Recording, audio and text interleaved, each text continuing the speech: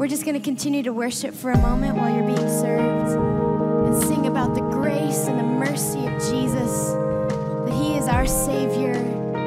He died on the cross for our sin. This is a moment to just remember the beauty of the cross and salvation this morning. Thank you, Jesus. Mm.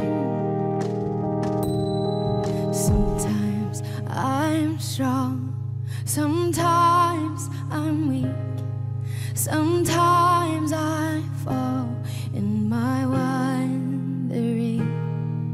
But through it all, there's just one thing more precious than the air.